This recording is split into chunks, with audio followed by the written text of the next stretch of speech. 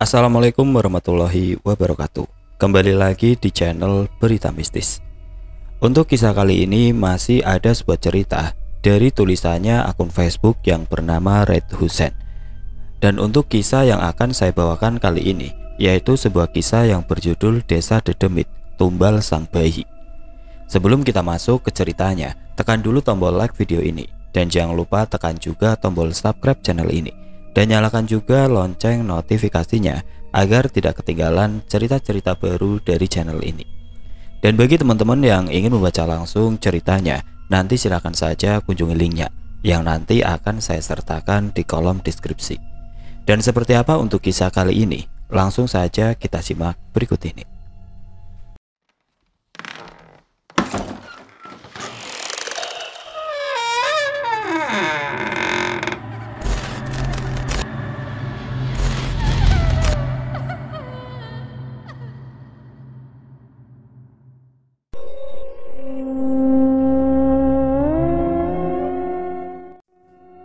Belum lama ini, setelah setahun teror di desa menghilang, salah satu warga sebut saja Karman dikagetkan dengan penemuan jasad bayi yang sudah membusuk. Awalnya ketika Karman hendak pergi ke kebun, dalam perjalanannya ia mencium bau bangkai yang sangat menyengat. Karman menyangka bahwa itu bangkai binatang karena biasanya banyak binatang yang mati. Tanpa ada kecurigaan sedikit pun, lantas ia pun melanjutkan perjalanannya kembali agar segera sampai di kebunnya. Menjelang sore, Karman bergegas pulang, membawa seikat kayu bakar di pundaknya. Lagi-lagi, dalam perjalanannya ia mencium bau bangkai. Dalam hatinya tergerak untuk memeriksa, ia pun menurunkan kayu bakar di pundaknya, lalu mencari sumber bau tersebut. Semak belukar sudah ia singkirkan, namun tidak ada bangkai apa pun yang ia temukan. Tiba-tiba, Pandangannya tertuju pada tumpukan rumput yang dikerubungi lalat. Karman pun segera mendekati tumpukan rumput tersebut. Alangkah kagetnya ia ketika melihat sebagian kaki mungil yang sudah pucat. Dan segera Karman menyingkirkan tumpukan rumput tersebut. Seketika itu, Karman langsung memalingkan wajah dan memuntahkan isi dalam perutnya. Rupanya, di balik tumpukan rumput terdapat jasad bayi yang sudah meninggal dengan perut yang sudah terkoyak. Sesudah memuntahkan semua isi dalam perutnya, Karman kembali melihat jasad bayi yang ada di hadapannya. Karman merasa seperti ada keanehan. Dari perut bayi yang sudah menganga lebar, tidak ada sedikit pun jeroan yang tersisa. Semua jeroannya sudah hilang. Segera saja Karman berlari menuju desa. Ia hendak mengabarkannya kepada warga bahwa ada bayi mungil yang sudah membusuk. Sesampainya di desa, Karman melihat semua orang sudah berkumpul di salah satu rumah. Ia pun segera menghampiri dan menanyakan pada salah seorang di dekatnya. Ada apa ini pak? Kok ramai sekali? Bu Dewi meninggal, jawabnya singkat. Karman terdiam sesaat bahwa Karman lupa mengabarkan bahwa ada jasad bayi di kebun. Lalu, Bu Dewi yang semalam baru lahiran? Tanya Karman. Iya, dengar-dengar sih setelah Bu Dewi lahiran, selang beberapa menit bayinya menghilang, jawabnya. Karena shock, akhirnya Bu Dewi jatuh pingsan. Hingga sore ini dia belum sadarkan diri, lanjutnya. Bukan hanya itu saja, ari-ari yang belum sempat dikubur hilang secara tiba-tiba. Padahal di situ ada dukun beranak yang menjaganya. Sontak Karman langsung teringat mengenai jasad bayi yang ia temukan. Bayi? Iya bayi, gumamnya dalam hati. Ada jasad bayi di kebun, ucap Karman dengan nada begitu keras. Seketika itu pandangan orang-orang di sekitar langsung tertuju pada Karman. Bayi, di kebun siapa man? Tanya salah seorang dari mereka. Mari, ikut saya, jawab Karman. Lantas Karman langsung bergegas menuju perkebunan dan diikuti beberapa orang. Sesampainya di perkebunan, Karman menunjuk ke arah tumpukan rumput yang sudah ia singkirkan. Di sana itu di sana bayinya, ucapnya. Semua orang bergegas mendekat ketika melihat apa yang ada di hadapannya. Secara serempak semuanya memalingkan wajahnya kembali. Bahkan ada juga yang menghindar karena tidak tahan menahan rasa mual. Tega sekali orang yang sudah membunuh bayi yang tidak berdosa ini, ucap seseorang. Walaupun korban ada di depan mata, tapi mereka tidak bisa menuduh begitu saja siapa dalang dibalik semua ini. Dan anehnya, baru satu hari bayi ini meninggal, tapi keadaan tubuhnya sudah membusuk dan mengeluarkan bau yang sangat menyengat. Kemudian jasad bayi tersebut dibawa ke desa dan diantar ke rumahnya. Meski mereka tidak mengenali bayi tersebut, tapi mereka yakin bahwa bayi ini adalah anak dari Bu Dewi. Sesampainya di rumah sebelum dibawa masuk, mereka memandikannya terlebih dahulu, lalu merebahkannya tepat di samping jenazah Bu Dewi. Idris, suami dari Bu Dewi, ketika melihat bayinya sudah terbujur kaku dengan perut yang sudah robek, seketika itu Idris langsung menangis histeris, batinnya serasa terpukul. Bukan hanya Idris saja, orang-orang yang melihatnya pun merasakan hal yang sama. Apalagi tubuh si jabang bayi yang sudah tidak utuh lagi, rasanya tidak tega bagi siapa pun yang melihatnya. Ayo semuanya, kita harus segera mengurus kedua jenazah ini, ucap Pak Hanafi. Hari sudah sore, sebentar lagi menjelang malam, tidak baik jika harus menunda. Lanjutnya, sebagian orang menuju pemakaman dan sebagiannya memandikan kedua jenazah tersebut. Langit sudah terlihat gelap, artinya waktu maghrib sebentar lagi tiba namun orang-orang yang ditugaskan menggali kubur belum juga datang. Bagaimana ini pak? Apa kita tunda dulu pemakamannya? Ya, sambil menunggu petugas gali kubur datang. Jawab Hanafi. Sudah waktu maghrib, ayo sholat dulu. Dua orang tetap jaga di rumah duka ya. Nanti gantian. Lanjut Pak Hanafi. Selesai sholat maghrib, akhirnya petugas gali kubur datang dan melaporkan bahwa pemakamannya sudah siap. Delapan orang langsung menggotong dua keranda mayat dan diiringi rombongan lainnya menuju pemakaman. Selama dalam perjalanan, mata Pak Hanafi begitu awas. Tidak henti-hentinya mata Pak Hanafi melirik ke sana kemari. Karena langit sudah gelap, mereka semua mempercepat langkah kakinya agar segera sampai di tempat pemakaman. Sesampainya di pemakaman, kedua jenazah langsung diturunkan ke dalam liang lahat. Tanpa sengaja mata Pak Hanafi melirik ke arah pohon yang ukurannya lumayan besar. Entah kenapa Pak Hanafi merasa bahwa dari balik pohon tersebut seperti ada seseorang yang sedang mengawasi. Namun Pak Hanafi tidak menceritakan kepada siapa pun. Lalu Pak Hanafi melanjutkan kembali acara pemakaman hingga selesai. Ketika hendak melangkahkan kaki meninggalkan pemakaman bersama rombongan lainnya, lagi-lagi mata Pak Hanafi tertuju pada pohon besar. Dan benar saja, Begitu mata Pak Hanafi melirik. Seketika itu ia melihat ada seseorang berlari keluar dari balik pohon dan menuju ke arah hutan. Siapa dia? Sepertinya bukan warga desa. Batin Pak Hanafi. Apa mungkin di desa ini ada seseorang yang mendalami ilmu hitam atau melakukan pesugihan? Lanjutnya. Ada rasa kecurigaan dalam diri Pak Hanafi, namun semua ini masih menjadi misteri. Belum ada kejelasan mengenai hal itu. Kenapa pak? Sepertinya bapak sedang memikirkan sesuatu Tanya Karman hmm, Enggak apa-apa man Jawab Pak Hanafi singkat Lalu Pak Hanafi melanjutkan perjalanannya kembali bersama rombongan lainnya Mengenai kematian Bu Dewi dan anaknya menjadi perbincangan hangat bagi warga sekitar Kebetulan saat ini ada salah seorang warga yang tengah hamil tua dan sebentar lagi akan melahirkan. Sebut saja Laras dan suaminya Harun di usia kehamilannya yang sudah menginjak ke 9 bulan. Jelas hal itu menambah kekhawatiran tersendiri bagi Harun. Setiap hari bahkan setiap saat, Harun selalu menjaga istrinya. Dan benar saja, tepat jam 01.17 di malam Jumat Legi, Laras mulai merasakan nyeri di bagian paha serta punggungnya. Untungnya, Harun sudah menghadirkan dukun beranak sejak sore tadi. Harun seolah-olah tahu bahwa malam ini istrinya akan melahirkan. Harun, tolong ambilkan bak berisi air dan bawa kemari. Teriak Nek Ana. Baik Nek, ucap Harun.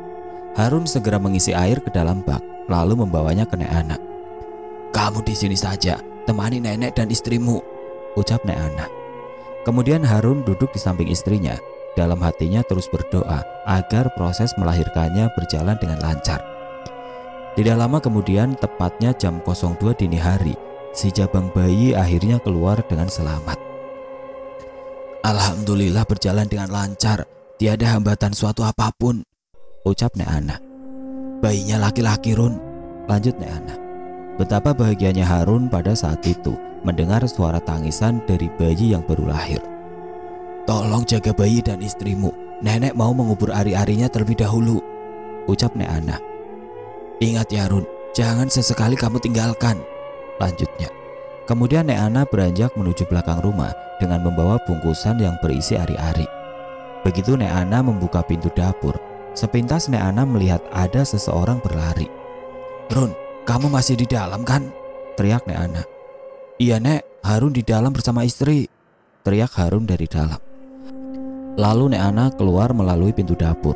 Suasana malam yang gelap gulita, hanya ada sedikit pencahayaan dari bulan separuh, membuat bulu kuduk Nek Ana jadi merinding.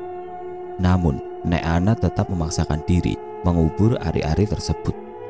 Berbeda dengan Harun, dari dalam rumah, Harun mendengar suara langkah kaki dari arah samping rumahnya. Harun menyangka bahwa itu adalah Nek Ana. Nek, ucap Harun, hening tidak ada sautan dari arah luar. Mata Harun mulai melirik ke sana kemari. Dari celah bilik rumahnya, Harun melihat seperti ada seseorang yang sedang berdiri. Nek Ana lama sekali sih, gumam Harun dalam hati. Karena penasaran, Harun mencoba mengintip dari celah bilik rumahnya. Akan tetapi orang itu sudah tidak ada. Ke mana perginya? Perasaan dari tadi tidak terdengar suara langkah kakinya. Batin Harun bertanya-tanya. Kemudian Harun kembali duduk di samping istrinya. Ada apa Kang? Tanya Laras. Tidak ada apa-apa Neng, jawab Harun. Tiba-tiba terdengar suara pintu diketuk. Siapa itu Kang? Tanya Laras. Tidak tahu Neng, mungkin Ana, jawab Harun. Ketika Harun hendak memeriksa, namun Laras melarangnya. Laras merasa bahwa itu bukanlah Nek Ana. Jangan Kang, tunggu saja di sini, ucap Laras. Harun pun mengurungkan niatnya. Mereka berdua hanya berdiam diri menunggu Neana kembali. Tidak lama kemudian lagi-lagi pintu diketuk kembali. Kali ini rasa penasaran Harun benar-benar sudah memuncak. Bahkan larangan dari istrinya ia hiraukan. Harun segera beranjak menuju pintu. Begitu pintu dibuka, namun tidak ada siapa pun di luar rumah. Tiba-tiba Harun mendengar suara di balik semak-semak dari samping rumahnya. Eh, Siapa itu? Teriak Harun. Kemudian Harun berlari mengejar, namun lagi-lagi tidak ada siapa pun. Yang terlihat hanya rumah tetangga yang saling berhadapan-hadapan.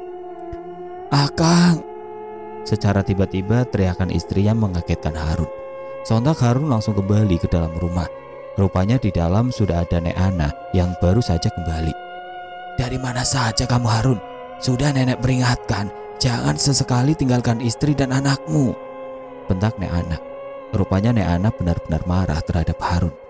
Lihat istrimu, dia jatuh pingsan karena kehilangan anaknya. Lanjut Nek Ana. Harun hanya bisa diam, ia menyesal telah meninggalkan anak dan istrinya walaupun hanya sebentar. Kenapa kamu diam Harun? Cepat bangunkan warga, minta bantuan untuk mencari anakmu. Ucap Nek Ana. Harun langsung berlari mengetuk pintu rumah ke rumah lainnya sambil berteriak meminta tolong. Warga yang mendengar suara teriakan, seketika itu warga langsung terbangun dan berhamburan keluar rumah. Ada apa ini? Apa yang sebenarnya terjadi? Tanya salah seorang warga. Tolong saya bapak, ibu sekalian, bayi saya hilang. Ucap Harun dengan wajah begitu panik. Mendengar ucapan Harun, warga kembali ke dalam rumah, mengambil obor dan langsung menelusuri hutan. Semua rerumputan yang menghalangi sudah diperiksa bahkan sampai ke tengah hutan, namun tidak ditemukan jejaknya. Hingga sampai jam 5 pagi, warga masih terus mencari, namun tetap saja tidak ada tanda apa pun. Warga pun akhirnya pulang dengan tangan hampa. Belum genap satu bulan, dua bayi hilang secara misterius. Bahkan salah satunya ditemukan sudah tidak bernyawa. Jam 6.45 pagi, warga sampai ke desa. Selama dalam perjalanan tidak henti-hentinya mereka membicarakan bahwa semua ini ada kaitannya dengan pelaku pesugihan. Harun ketika sampai di rumahnya, ia hanya tertunduk lemas. Dilihatnya Nek Ana sedang merawat Laras. Rupanya Laras sudah siuman sejak tadi, namun wajahnya begitu pucat. Laras merasa trauma karena kehilangan anaknya yang baru lahir. Bagaimana Harun? Apa anakmu sudah ditemukan? Tanya Nek Ana. Belum Nek, jawab Harun singkat. Mendengar jawaban Harun, Nek Ana hanya bisa pasrah, sekaligus menguatkan hati Laras agar tetap tegar menghadapi kenyataan ini. Yang sabar ya Nek, mudah-mudahan secepatnya ketemu, ucap Nek Ana. Laras hanya diam, sejak dari tadi ia tidak berbicara apa pun. Dari bola matanya terus meneteskan air mata. Tidak lama kemudian Nek Ana pamit pulang. Ia harus merawat cucunya karena satu bulan lagi akan melahirkan. Begitu membuka pintu dapur, mata Nek Ana langsung terbelalak ketika melihat gundukan tanah yang tidak jauh darinya sudah acak-acakan. Harun, teriak Nek Ana. Mendengar teriakan dari dapur, Harun langsung menghampiri. Iya Nek, ada apa? Tanya Harun. Coba kamu periksa gundukan tanah itu. Ucap Neana seraya menunduk. Harun segera mendekati gundukan tanah tersebut. Setelah diperiksa, terdapat banyak sekali darah berceceran. Bukan hanya itu saja, dari sisinya terdapat jejak telapak manusia. Apa ini, Nek? Kok banyak sekali darah berceceran? Tanya Harun. Hari-hari, nenek mengubur hari-hari di situ. Jawab Nek Ana. Kemudian Nek Ana menghampiri Harun Begitu Nek Ana melihat, sontak Nek Ana kaget. Ternyata ari-ari yang Nek Ana kubur rupanya sudah tiada. Ari-arinya ada yang mencuri. Sepertinya ada seseorang yang melakukan pesugihan di desa ini. Ucap Nek Ana. Segera temui Pak Hanafi dan beritahu mengenai kejadian ini. Perintah Nek Ana. Di tengah kepanikan, bukannya langsung beranjak, Harun malah berdiam diri seperti orang kebingungan. Run, kamu kesambut apa? Cepat!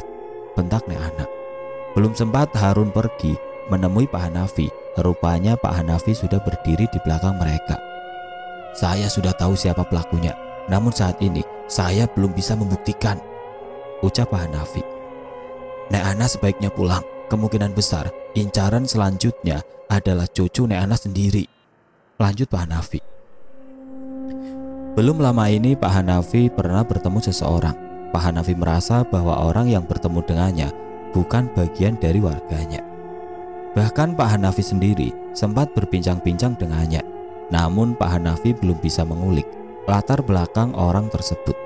Hal itu karena ketika Pak Hanafi menanyakan tempat tinggalnya, tiba-tiba orang itu langsung berlari.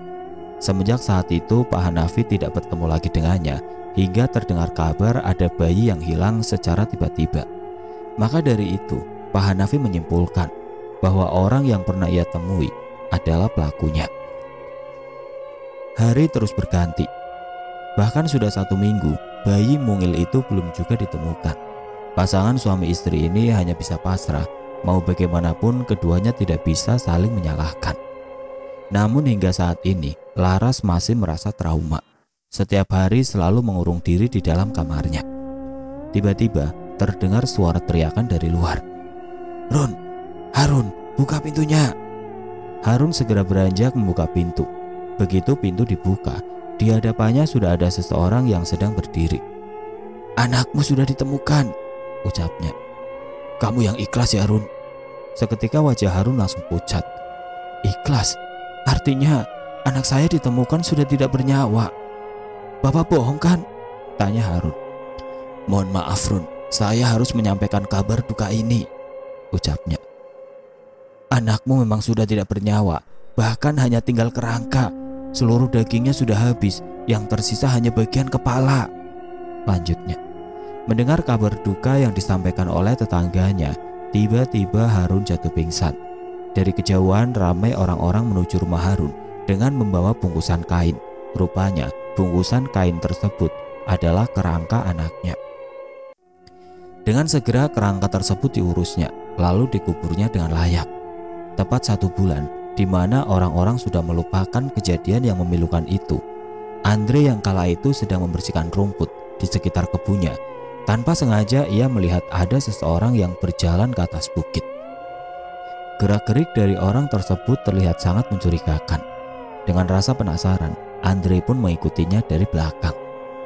Tiba-tiba orang itu berhenti, lalu menoleh ke arah Andre. Untungnya Andre segera bersembunyi. Andre berharap orang itu tidak mengetahuinya. Perlahan Andre melirik arahnya. Rupanya orang itu sudah berada jauh dari pandangan Andre. Dengan segera Andre mempercepat langkah kakinya hingga sampai di suatu tempat di sebuah gubuk yang sudah usang. Orang itu hilang secara tiba-tiba. Apa tujuanmu membuntuti saya? Andre langsung terperajat ketika mendengar suara seseorang dari arah belakangnya. Begitu Andre menoleh, rupanya itu adalah orang yang diikutinya tadi. Perawakannya begitu kekar, membawa sebilah parang di tangannya. Seketika itu Andre terdiam mematung. Kenapa diam? Jawab pertanyaan saya, ucapnya. Sekarang pergilah dan jangan pernah kembali ke sini lagi. Dengan tubuh gemetar dipenuhi rasa takut, perlahan Andre melangkahkan kakinya meninggalkan orang yang ada di hadapannya. Akan tetapi orang itu tidak melepaskan Andre begitu saja. Ketika Andre sudah berada jauh darinya, dengan cepat ia melayangkan parangnya dan mendarat tepat di leher Andre. Parang yang begitu tajam langsung menebas leher Andre hingga kepalanya terputus dan jatuh menggelinding. Tubuh Andre langsung jatuh tersungkur bersimbah darah. Dengan segera orang itu menghampiri Andre. Setelah dipastikan Andre benar-benar sudah mati, ia pun meninggalkannya begitu saja. Sementara itu orang tua Andre, Pak Kosim, yang menunggunya di rumah, ia merasa khawatir karena dari pagi hingga sore Andre belum juga pulang. Bahkan hingga larut malam, Andre tidak diketahui keberadaannya. Sudah ditanyakan ke tetangganya, namun mereka juga tidak mengetahui. Pak Kosim mulai merasa cemas. Ia pun memutuskan untuk menemui Pak Hanafi malam ini juga. Sesampainya di rumah Pak Hanafi, Pak Kosim langsung mengutarakan maksud dan tujuannya. Tunggu saja sampai pagi. Jika Andre masih belum pulang, besok saya akan mengerahkan warga untuk mencari keberadaan Andre. Ucap Pak Hanafi.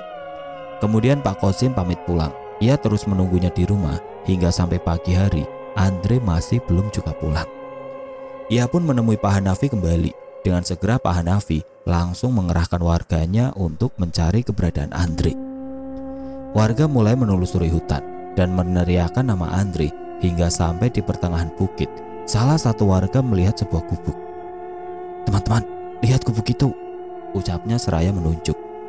Kemungkinan Andre ada di dalamnya, lanjutnya. Dengan segera mereka berlari menuju gubuk tersebut. Akan tetapi di antara kaki mereka ada yang menginjak benda bentuknya bulat tidak rata. Sontak saja yang menginjak tersebut langsung terhenyak kaget.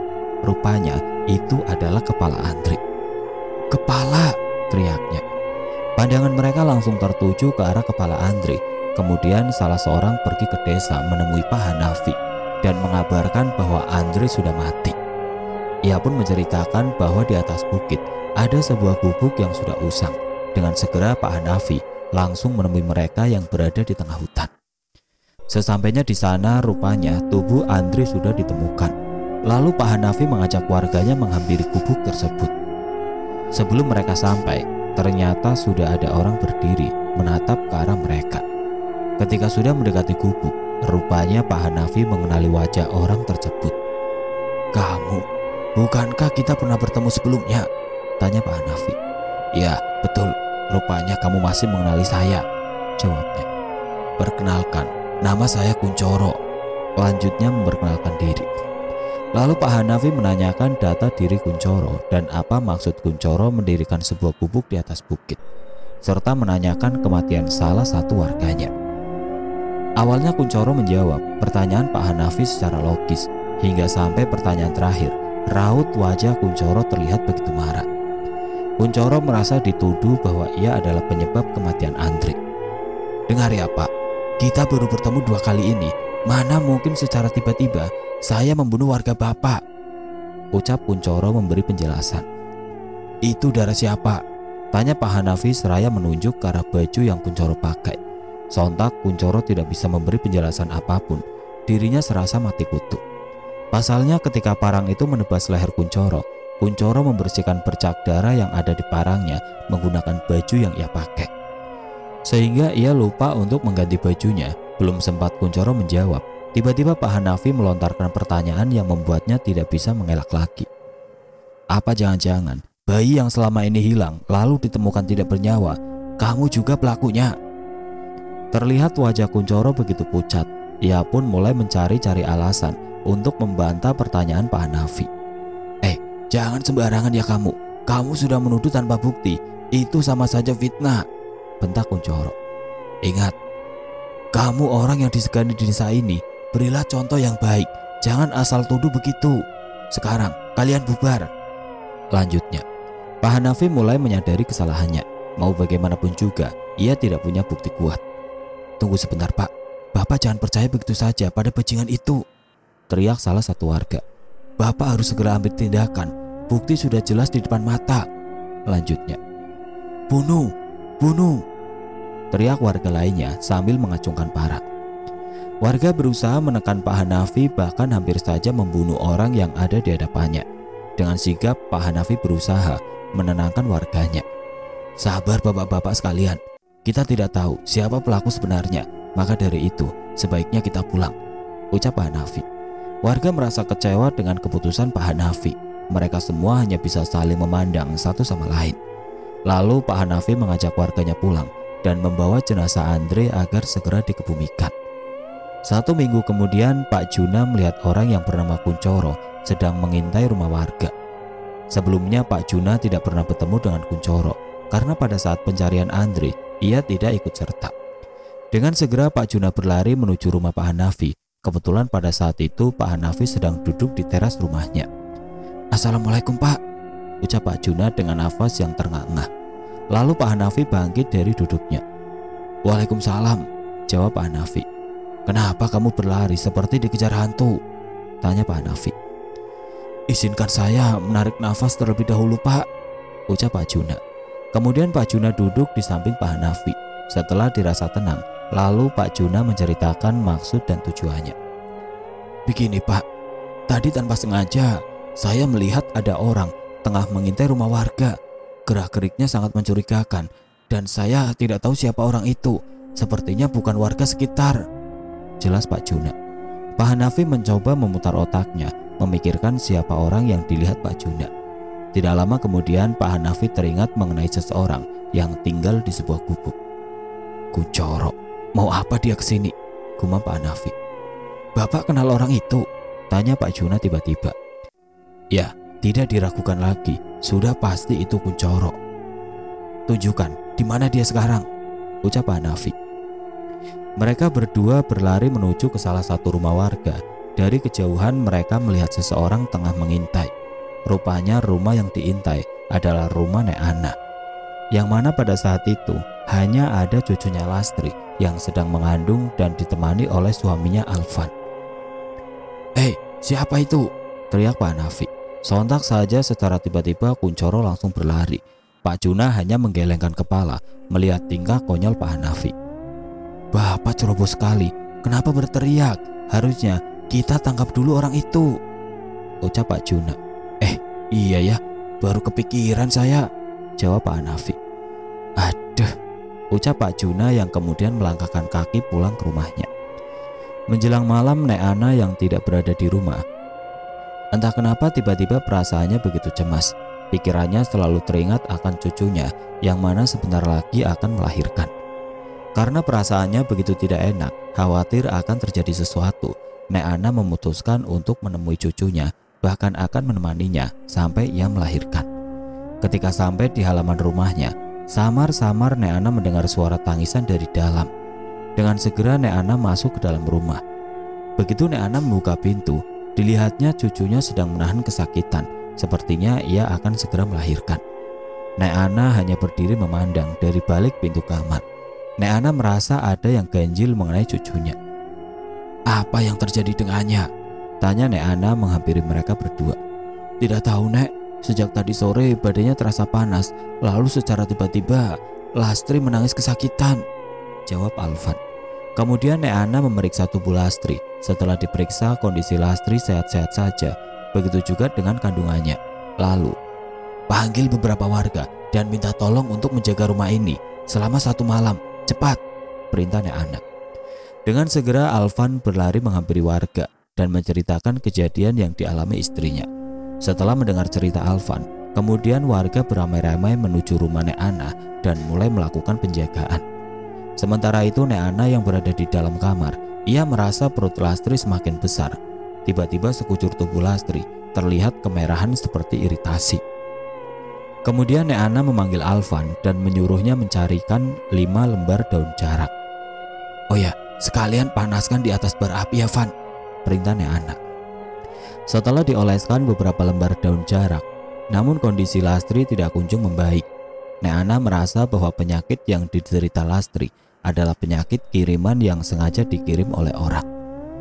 Lastri terus berteriak kesakitan sambil memegangi perutnya yang semakin membesar. Warga yang berada di luar rumah Nek Ana mulai mengintip karena penasaran.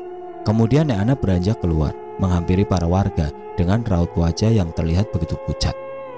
Saya minta tolong kepada kalian, jangan ada yang tertidur, walaupun hanya satu menit, ucap Nek Ana. Jelas hal itu membuat warga bertanya-tanya apa maksud dari ucapan Nek Ana.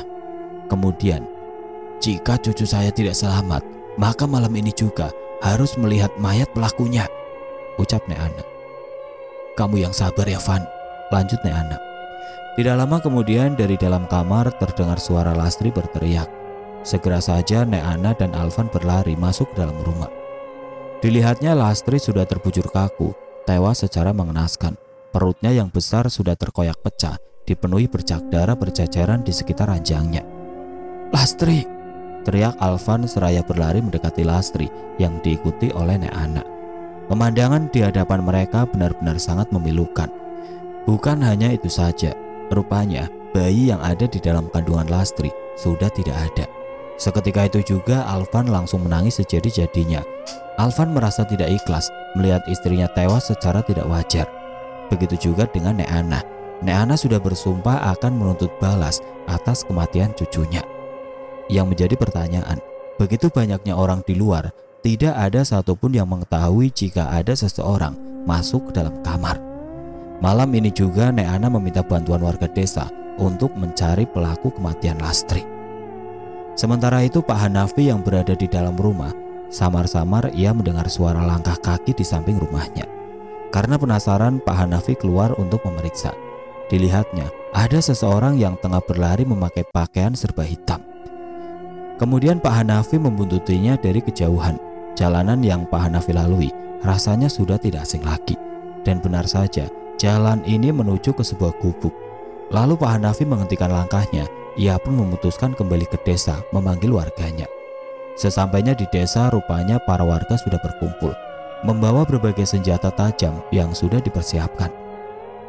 Kalian mau ke mana? Tanya Pak Hanafi penasaran. Bapak tidak tahu kalau cucu Nek Ana tewas secara mengenaskan dan kami semua akan mencari pelakunya. Jawab salah seorang warga. Pak Hanafi terdiam sesaat. Ia tidak mengerti apa yang dimaksud ucapan warganya, karena sebelumnya tidak ada yang memberitahu Pak Hanafi. Kemudian Pak Hanafi menyuruh warga untuk mengikuti dirinya menuju ke sebuah gubuk yang ada di atas bukit. Padamkan obor kalian, bisik Pak Hanafi. Dengan langkah yang mengendap-endap, mereka mulai merangkak menuju ke atas bukit. Pak, ada seseorang di atas sana, ucap salah seorang warga. Kalian tunggu di sini, perintah Pak Hanafi. Kemudian Pak Hanafi mendekati gubuk seorang diri. Dilihatnya ternyata orang yang selama ini dicurigai adalah Kuncoro. Pada malam itu, Kuncoro tengah asik menjilati darah yang menempel di tubuh bayi yang sudah mati. Kemungkinan bayi tersebut adalah anak dari Lastri yang hendak melahirkan. Kuncoro, bagus sekali permainanmu, ucap Pak Hanafi secara tiba-tiba. Sontak saja Kuncoro langsung menoleh ke belakang. Tapi sayang sekali, malam ini kamu tidak akan bisa berlari ke mana pun. Lihat di bawah sana, semua warga sudah menunggu darah segar dari tubuhmu. Ucap Pak Hanafi seraya menunjuk ke arah warganya. Parang yang digenggam Pak Hanafi sudah siap untuk menebas leher Kuncoro. Pada waktu itu hukum rimba masih berlaku bagi siapa saja yang terbukti melakukan kejahatan sudah pasti mati. Tubuh Kuncoro gemetar hebat, matanya terus melirik ke sana kemari, mencari celah agar dirinya bisa lolos. Begitu Pak Hanafi menoleh ke belakang dan mengerahkan warga agar segera naik ke atas bukit. Seketika itu juga Kuncoro langsung berlari melesat jauh, hilang dari hadapan Pak Hanafi. Sementara bayi yang sudah mati itu, ia tinggalkan di depan gubuknya. Tubuh sang bayi itu masih terlihat utuh, tidak ada luka sedikit pun. Hanya saja Ari-arinya sudah dilahap habis oleh Kuncoro. Bangsat, kejar, perintah Pak Hanafi. Belum sempat sampai ke atas bukit, mereka semua sudah berpencar, berlarian ke sana kemari. Seorang kuncoro yang mempunyai keahlian khusus, yaitu kecepatannya dalam berlari, bahkan tubuhnya terasa ringan jika sudah digerakkan. Tentu hal itu sangat sulit bagi warga yang mencarinya. Untungnya Nek Ana segera tiba karena rasa dendamnya yang sudah memuncak. Ia pun ikut membantu. Nek Ana datang tidak sendirian, ia berdua sama teman sebayanya Nek Surmini. Karena usianya yang sudah sepuh, mereka berdua hanya bisa membantu dari kejauhan. Mana warga yang lain? Tanya Nek Ana. Sudah saya kerahkan untuk mencari Kuncoro, jawab Pak Hanafi.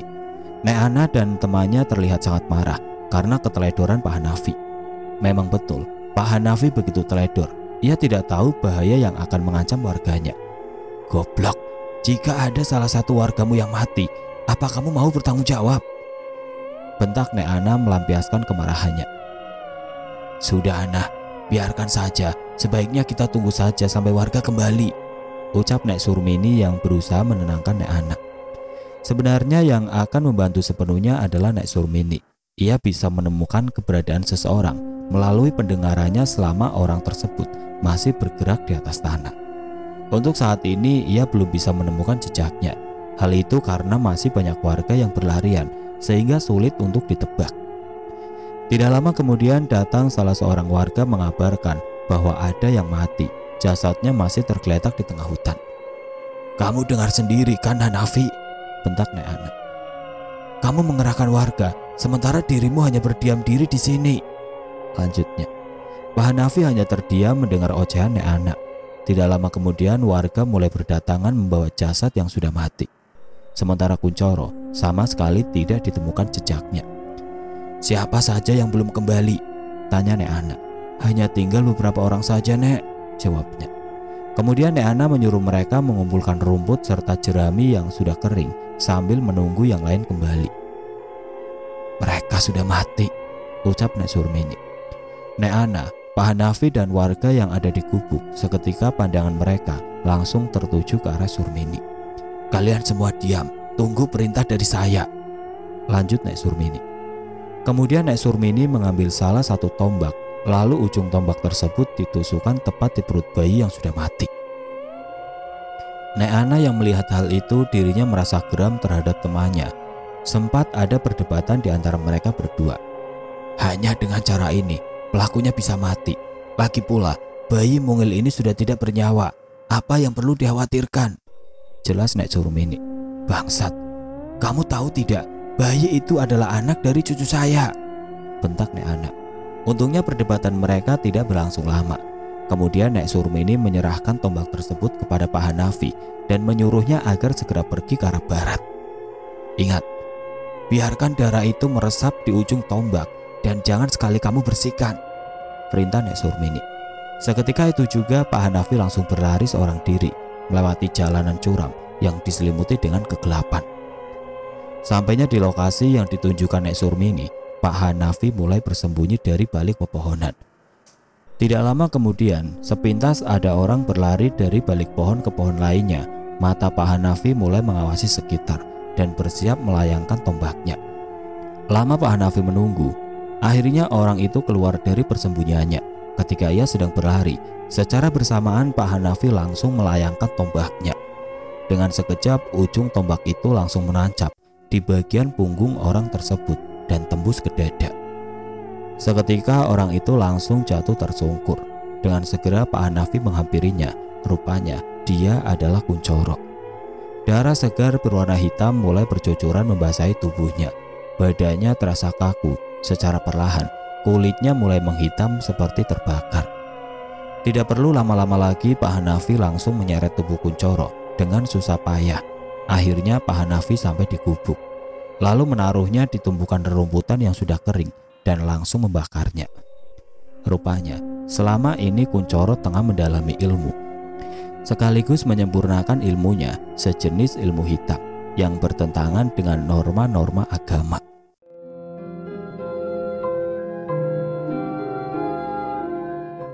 Oke teman-teman, sekian untuk kisah kali ini. Bagaimana menurut kalian tentang kisah ini? Tulis komentar kalian di kolom komentar. Dan bagi teman-teman yang baru bergabung, jangan lupa untuk like, comment, share, serta subscribe channel ini. Dan nantikan kisah-kisah horor berikutnya tetap di channel Berita Mistis. Wassalamualaikum warahmatullahi wabarakatuh.